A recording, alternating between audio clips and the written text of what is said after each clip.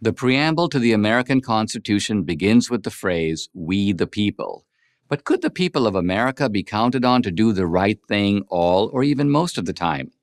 The principal architect of the Constitution, James Madison, gave this question a great deal of thought. His answer was a decided no.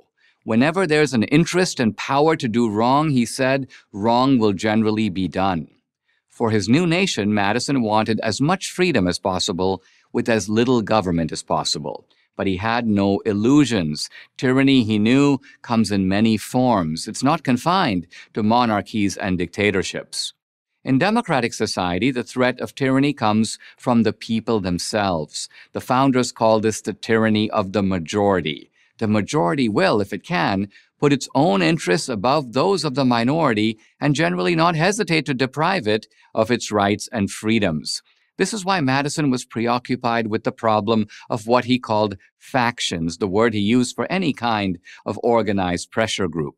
Madison deemed both minority and majority factions dangerous. Yet, of the two types of factions, he considered a majority faction to be more dangerous. Why? Because minority factions can be curbed by the power of the majority. But who will curb the majority?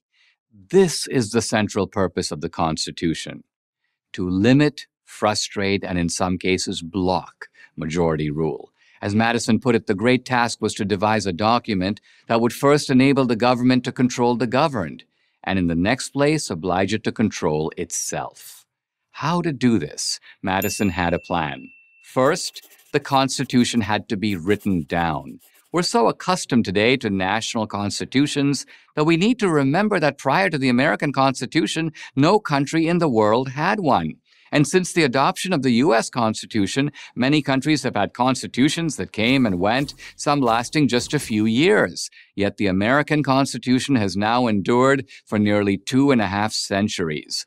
The original document was written on four pieces of parchment and is 4,543 words long. Its remarkable brevity perfectly matches its purpose to create a framework for limited government. To Madison, this meant that the authority of the federal government should cover certain listed or enumerated areas. Outside those areas, the government has no authority. Second, the rights of the citizens had to be spelled out. That's why the first 10 amendments to the Constitution, known as the Bill of Rights, contain a series of limitations on government. The rights in the Bill of Rights typically begin Congress shall make no law. Congress shall make no law restricting free speech or freedom of the press or the free exercise of religion. Third, the concept of representative government had to be clearly defined. Representative government means that the people do not rule directly. They rule by electing representatives who govern in their stead. Madison counted this practice a radical departure from the direct democracy of the ancient Athenians as the distinguishing mark between democracy and a republic. A large and extended society, Madison argued, can function effectively only as a republic. And a republic is a much better guard against tyranny of the majority than a democracy, in which, by definition, the majority can do whatever it wants. Fourth, the power within the government must be divided. The Constitution separates power between an elected legislature charged with making laws, an elected executive charged with enforcing them, and an appointed judiciary empowered with resolving legal disputes. A further division happens between the national government and the states, so that some powers are exercised at the national level, others at the state and local level. Fifth, Mutual oversight, checks and balances was necessary to restrain the power of the individual branches. Because Madison understood how easy it is for a country to devolve into tyranny, he ensured that each of the three branches of the government act as a check on the power of the other two. Congress has the power to make laws, but the president can veto them, and vetoes can be overridden only by congressional supermajorities. The president and his executive branch enforce the laws, but there is congressional and judicial oversight.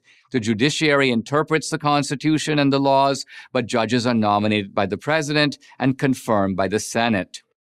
This is not a complete list, but it gives a clear picture of Madison's ambition to give America a political system that would promote freedom by making it very hard for the human appetite for power over others to ever be realized.